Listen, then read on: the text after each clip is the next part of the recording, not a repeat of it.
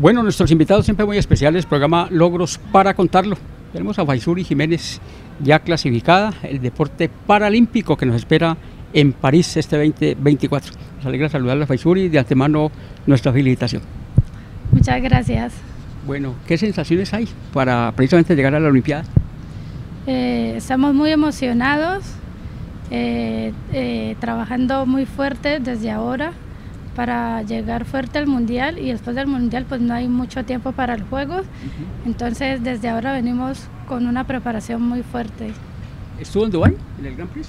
Sí, señor. ¿Cómo les fue? muy bien, para iniciar el año obtuvimos el segundo lugar en los 100 metros. Eso es importante también se va progresando mucho además porque están haciendo una buena preparación.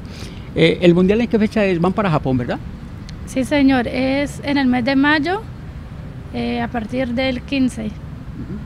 Bueno, Japón, luego ya metiéndose de lleno a París. Eh, marcas, ¿cómo estamos de marcas, Faisuri? ¿Está contenta con lo que hay hasta ahora? sí, estoy muy feliz. la idea es mejorar la marca que hicimos en el Mundial pasado en, las, en el país de Francia. Qué bueno, porque además eh, hay un propósito, ¿no? Que es eh, mejorar lo hecho en la Paralimpiada anterior, que eso es importante también. Eh, sí, claro. En el Mundial de París hicimos la misma marca que en los Juegos Paralímpicos de Tokio y en este Mundial y en los Juegos esperamos mejorarlas. Ojalá sea. ¿Y qué le dice el profe, el técnico, el seleccionador? el entrenador está muy contento, está muy feliz con el trabajo que estamos haciendo porque se nota que estamos muy dedicados.